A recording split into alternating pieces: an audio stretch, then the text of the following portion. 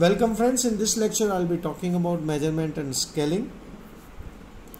Measurement in, uh, in simpler words is the assignment of number or signs to object or their characteristics while scaling is creating a continuum upon which you can place your observation. Scales could be unidimensional and multidimensional.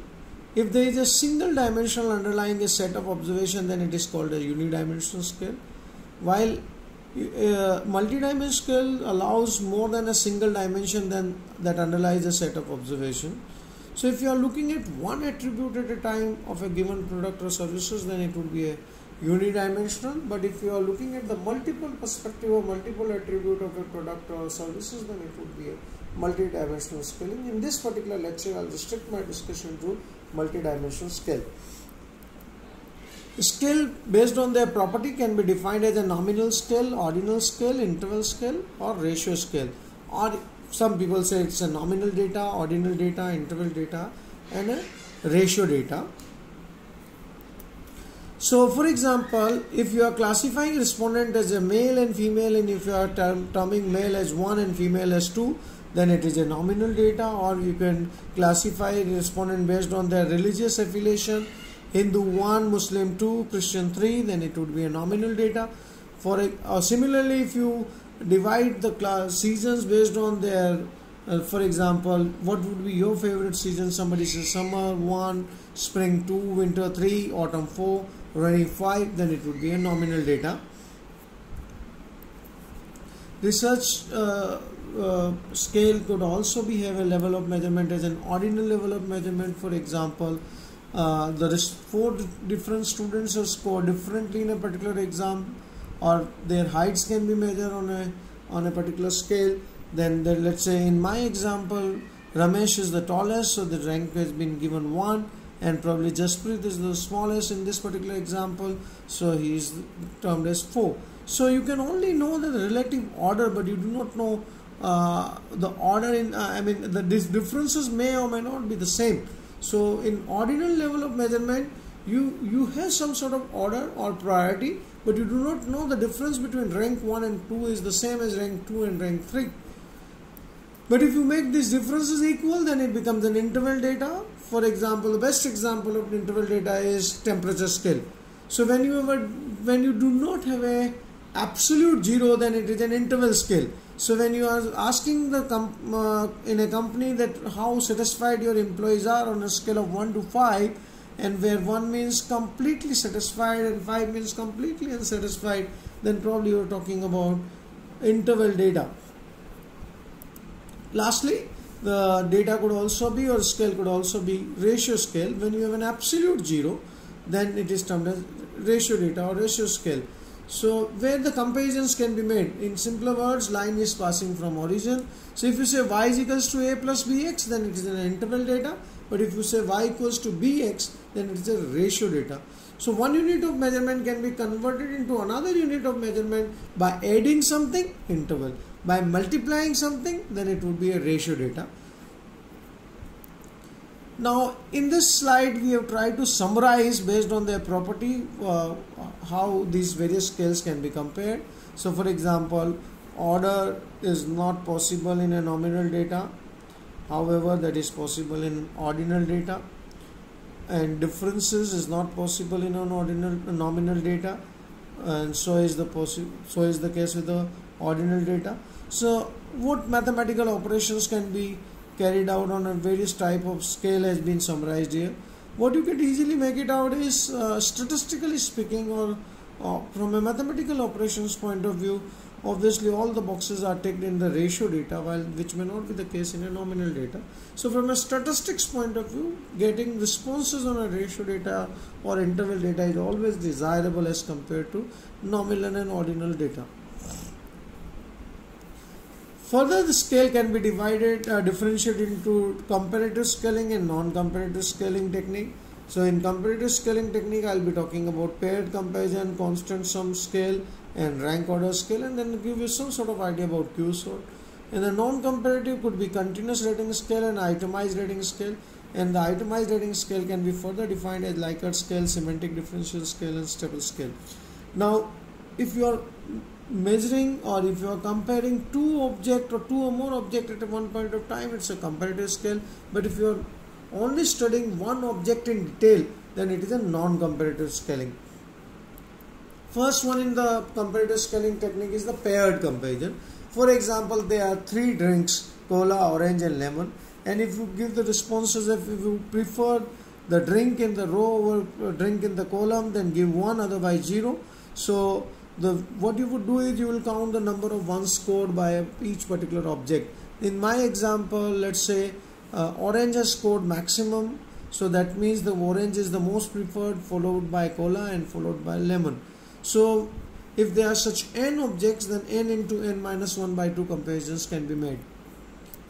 Similarly uh, there is another type of scale which is termed as constant sum scale so what happens in a constant sum scale is the respondents are being asked to assign weightages or allocation of the marks based on the certain predefined uh, numbers. For example, in this case uh, we have taken 100 as a predefined number and we have tried to divide these 100 marks or 100 units into four different rings and what you could make it out is the drink 1 scored maximum in fizz while drink 2 is good in the sweetness maybe drink 3 is being preferred over flavor and drink 4 has got highest in the sweetness.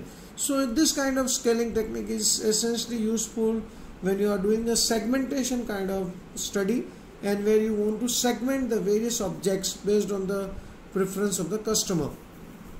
Another type of uh, pair uh, another kind of comparative scaling technique is the rank order scaling.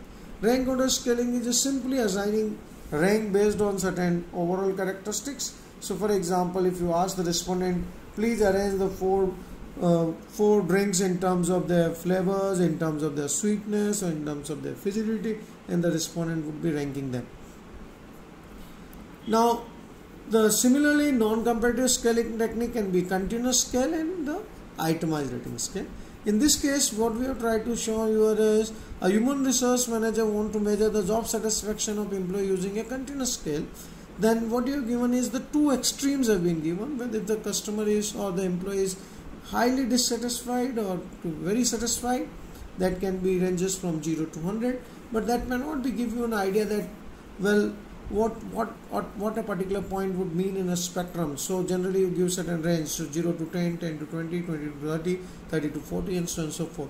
Now we want to assign a label also for example what do 10 to 20 means or 20 to 30 mean? So 10 to 30 is essentially you are trying to he is not satisfied. For 9 to 90 to 100 you are saying they're very satisfied. So then the labels can be done getting responses and analyzing this kind of responses is relatively difficult. Now the itemized rating scale. So itemized rating scale, the common itemized rating scale is the Likert scale. Rensis Likert developed the scale wherein the various anchors are being used. In this case, I like to receive salary bonus on a quarterly basis. Let's say that's the kind of statement which you're asking from the respondent. The, vari- the variation could be you strongly agree, agree, neutral, disagree, strongly disagree. Or maybe you can ask in a different form. I like to receive salary bonus on an annual basis, and people say, well, we we strongly agree to on this. So whenever you are creating uh, discrete responses, then it is an itemized rating scale. Scale could also be in the form of a semantic differential so let's say if you ask your phone, you find your supervisor to be, and they are two extreme, very powerful to very weak, reliable to unreliable, uh, organized to unorganized. So these are two, two semantically differentiated words which are being placed at the extreme.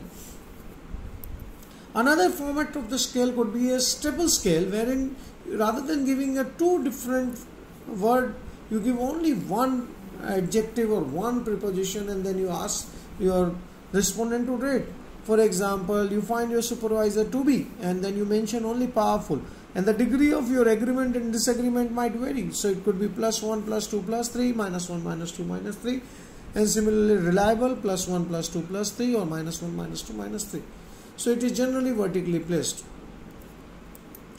Now uh, these days another scale which is getting popular is the Fujicom Folom scale. For example, when you visit a restaurant and then the generally after having dine uh, after having your food the, the restaurant ask for a feedback. And then certain emojis are being mentioned there whether you liked our food or you didn't like at all of, or even when you're traveling by an Ola Uber then also at times you have to rate the respond, uh, your driver. Or similarly you know, when you whenever you go to a restaurant or any any services which you avail at times you give rating. So there's the physical form of scale now I'm talking about the reliability and validity of the scale. So observed score consists of the true score plus systematic error and random error. Random error is something if you repeat your observation they get uh, rectified then it is a random error. But even if you repeat uh, your observation several times still it doesn't get rectified then it is termed as systematic error. If you make your observation free from uh, random error then it is termed as reliability so if you have to choose one word for the reliability, then it would be a consistency. But if your observations is free from random as well as systematic error, then it is termed as validity. So if you have to choose one word for the validity, then it would be an accuracy. So if I say a clock is showing uh, 2 o'clock at 2 o'clock, at 4 o'clock at 4 o'clock, then it is reliable and valid. But if it is showing 4 o'clock at 2 o'clock, 6 o'clock at 4 o'clock, then it is reliable but not valid.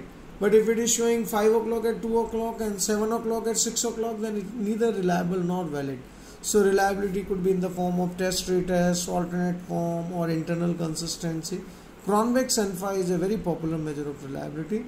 Similarly, validity could be a content validity, criterion validity, concurrent validity, construct validity, convergent val- construct validity can be further divided as convergent validity, discriminant validity, and nomological validity.